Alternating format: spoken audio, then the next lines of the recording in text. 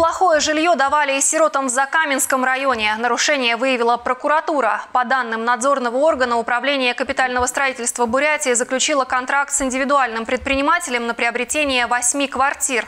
Проверка прокуратуры подтвердила, жилье не соответствует санитарным, строительным и противопожарным требованиям.